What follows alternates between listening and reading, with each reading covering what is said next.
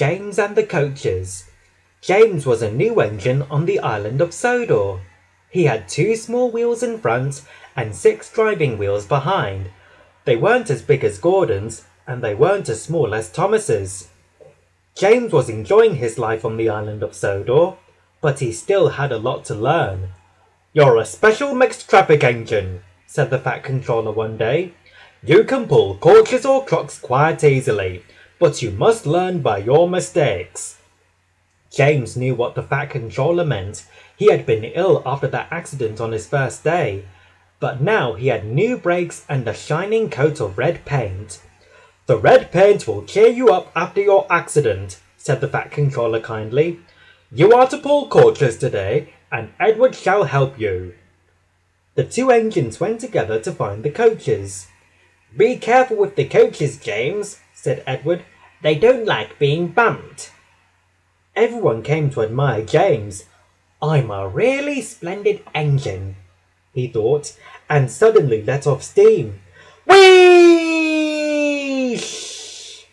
A shower of water fell on the Fat Controller's nice new top hat. Just then, the guard blew his whistle, and James thought that they had better go. Go on, go on, he puffed to Edward. Don't push, don't push, replied Edward. The coaches were grumbling too. Don't go so fast, don't go so fast, they said. But James didn't listen. When at last they had stopped at the station, two coaches were beyond the platform and they had to go back to let the passengers out. Lots of people came to look at James, and as no one seemed to know about the Fat Controller's top hat, James felt happier. Soon they came to the station where Thomas was waiting with his two coaches. Hello, James, said Thomas. Are you feeling better? Oh, that's my guard's whistle. I must go. Sorry I can't stop. I don't know what the Fat Controller would do without me to run this branch line. And Thomas puffed off importantly. Edward and James ran past the field where James had had his accident. The fence was mended and the cows were back again. James whistled, but they paid no attention. They ended their journey and rested before setting off for home. James was still wondering what the Fat Controller would have to say about his top hat. The next morning, the Fat Controller spoke severely to him. If you can't behave, I shall take away your red coat and have you painted blue. James didn't like that at all, and he was very rough with the coaches as he brought them to the platform. Don't talk, come along, he called to them. James was cross that e- James was cross that morning. The Fat Controller had spoken to him, the coaches had gone too slow, and worst of all, he had had to fetch his own coaches.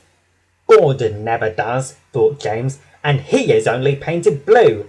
A splendid red engine like me should never have to fetch his own coaches. To make James even more cross, this time no one came to look at him and admire his smart new coat. I'll show them, he thought. They think Gordon is the only engine who can pull coaches.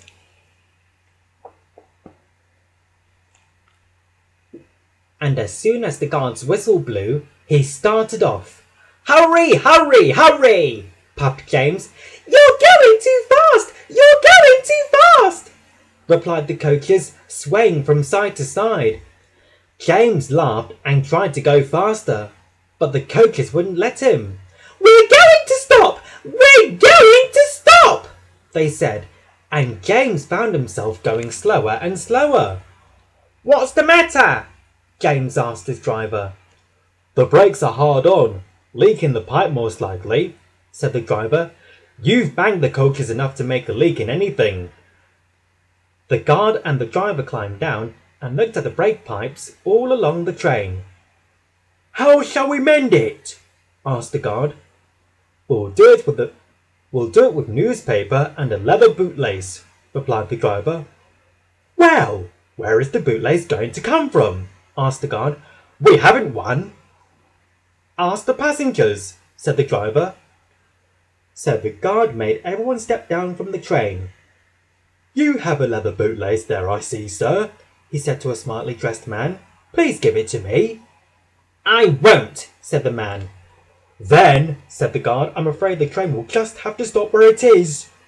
The passengers all said what a bad railway it was. Then they told the man how bad he was. Everyone was very cross. At last the man handed over his bootlace. The, the driver tied a pad of newspaper tightly round the hole in the brake pipe, and James was able to pull the train. But he was a sadder and wiser James, and took care never to bump coaches again.